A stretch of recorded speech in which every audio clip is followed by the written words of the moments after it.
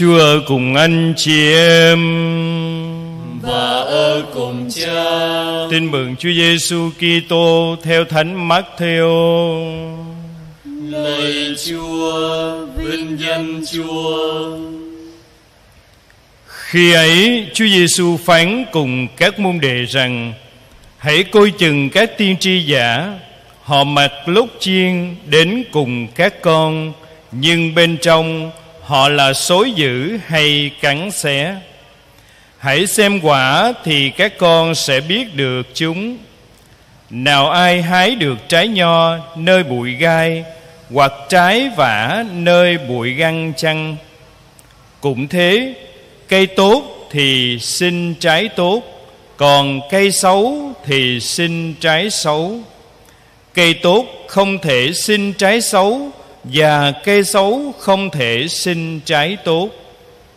Các cây không sinh trái tốt Thì sẽ bị chặt đi và ném vào lửa. Vậy coi trái thì các con sẽ nhận biết được chúng. Đó là lời Chúa. Lời Chúa Kitô, ngài khen Chúa.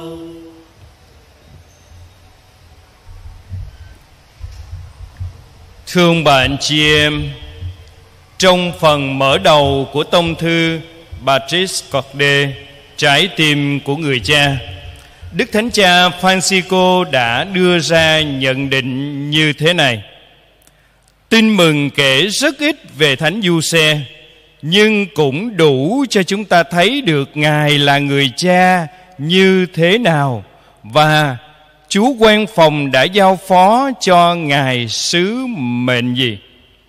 Vậy thì ngày hôm nay, Chúng ta cùng nhau tìm hiểu đôi điều về cuộc đời thánh cả du xe Để rút ra bài học cho chúng ta. Chúng ta biết, Tin mừng viết rất ít về Thánh Du Xe Chỉ có Thánh Matthew và Thánh Luca Thì viết khá khá hơn một chút về Ngài. Nhưng mà dù chúng ta có rất ít dữ liệu về Thánh Du Xe Nhưng chúng ta cũng có thể phá quả đôi chút về chân dung của Ngài. Theo các thánh sử thì thánh du xe là một người công chính thuộc chi tộc Juda là mưu vệ thứ 40 của vua David. Ngài đã đính hôn với trinh nữ Maria, cũng là con cháu của vua David. Dù rằng hai người thuộc dòng dõi đế vương, nhưng mà thương bạn chị em, chỉ có tiếng mà không có miếng bởi vì hai ngài thuộc gia đình khó nghèo chứ không có cao sang quyền quý gì tuy nhiên dù hai ngài thấp hèn nhưng được chúa chọn Chúa chọn để làm những cộng sự viên trong chương trình cứu độ của Thiên Chúa. Và khi được Chúa chọn thì hai ngài đã mạnh dạn, mạnh mẽ tuân phục, thi hành theo thánh ý của Thiên Chúa. Hai ngài đã trở nên những mẫu gương lớn về việc thi hành thánh ý Chúa trong suốt cuộc đời của mình dù rằng việc thi hành theo thánh ý của thiên chúa không phải lúc nào cũng dễ dàng, thậm chí đôi lúc khó mà có thể tuân theo lắm nhưng hai ngài đã tuân theo một cách rất là tốt đẹp.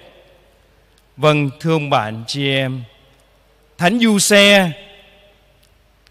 tuân hành thánh ý thiên chúa được Matthew ghi lại liên quan đến bốn giấc mơ như sau.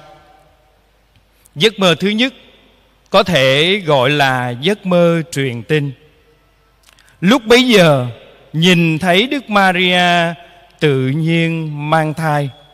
Thánh du xe bối rối, phân dân, không biết phải xử trí như thế nào. Thì thiên thần hiện đến báo tin cho du xe biết việc mang thai của chính nữ maria không phải là do sự chung đụng của nam nữ mà do quyền năng của chúa thánh thần. Và thiên thần mời gọi thánh du xe hãy rước maria về nhà để mà chăm nom, để mà gìn giữ hai mẹ con của người.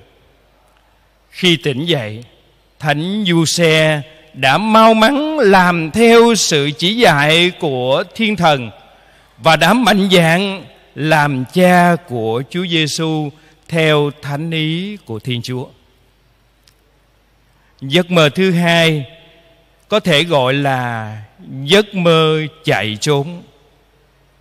Khi Đức Maria sinh con, dù rằng sinh trong cảnh khó nghèo nhưng những tưởng khó nghèo mà được an lành vậy mà đang đêm đang hôn thiên thần hiện đến với lại du xe, bảo rằng phải đưa con trẻ rời chỗ đó chạy sang ai cập để lánh nạn. Kẻo không thôi vua herode tìm giết con trẻ. Đang đêm đang hôm, không chút do dự, du xe chổi dậy, đem hai mẹ con của người lập tức trốn sang Ai Cập bắt đầu một cái cuộc sống tha hương lữ khách. Vâng theo thánh ý thiên chúa là vậy đó, thưa ông bạn chị em. Nhiều khi không trong mong muốn của mình mà cũng phải vâng theo. Rồi giấc mơ thứ ba, có thể gọi là giấc mơ hồi hương.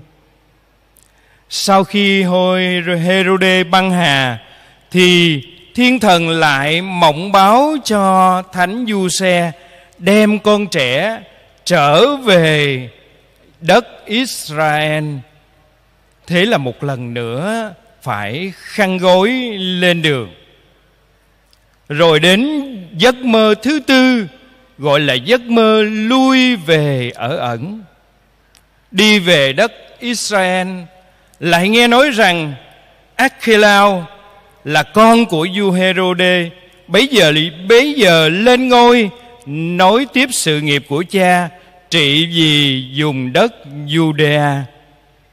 Không dám về chỗ đó, cũng sợ lắm. Cho nên phân dân không biết đi về đâu. Thì thiên thần hiện đến mộng báo cho du xe, dạy phải lui về Galilea.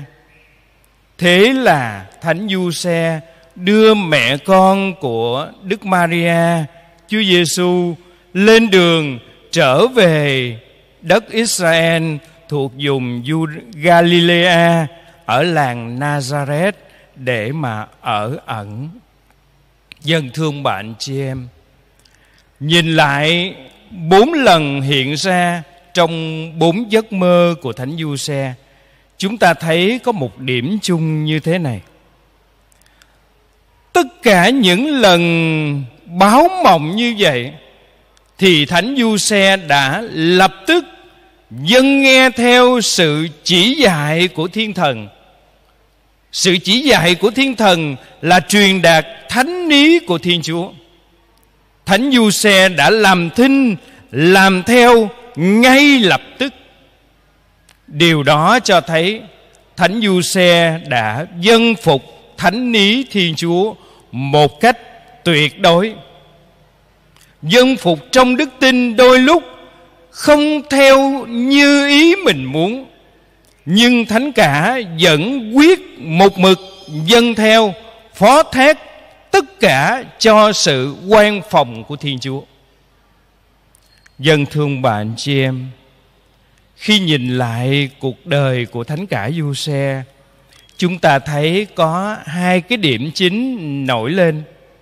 Thứ nhất, đó là tình thương mà thánh cả dành cho đức maria và cho con trẻ giêsu một tình yêu quan tâm, chăm sóc, giữ gìn để rồi con trẻ giêsu lớn lên trong sự yêu thương của cha, của mẹ điều thứ hai, đó là nơi thánh cả một sự dân phục tuyệt đối trong đức tin. Một sự dân phục không chút đôi co, không chút thắc mắc.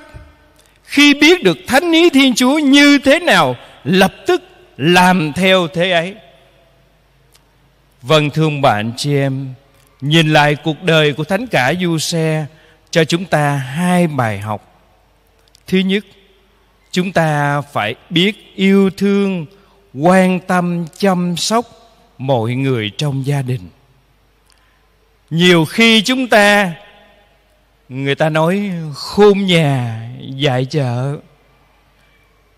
Yêu thương người nào đâu không á, còn về nhà à, lạnh lùng như băng giá. Không có biết nói lời yêu thương không biết tỏ tình thương đối với các thành viên trong gia đình. Cuộc đời thánh cả du xe nhắc nhở mỗi người chúng ta phải biết yêu thương, quan tâm, chăm sóc cho nhau trong gia đình của mình. Cái bài học thứ hai, đó là sự vâng phục trong đức tin đối với thánh ý của thiên chúa. Dân thương bạn chị em dân phục thánh ý thiên chúa, không phải dễ đâu. Những khi thánh ý thiên chúa cùng với ý muốn của chúng ta thì dân phục dễ lắm. Nhưng nếu như đi ngược lại với ý muốn của chúng ta, khó dân phục lắm. Nhưng sự dân phục trong đức tin theo thánh ý thiên chúa là một lựa chọn, là một việc làm khôn ngoan vì vậy, xin cho mỗi người chúng ta ngày hôm nay chiêm ngắm thánh du xe, biết học nơi ngài hai bài học. Bài học yêu thương mọi người trong gia đình của mình và bài học vâng phục trong đức tin. Dù rằng vâng phục theo thánh ý thiên chúa có ngược lại với ý muốn của chúng ta đi nữa. Amen.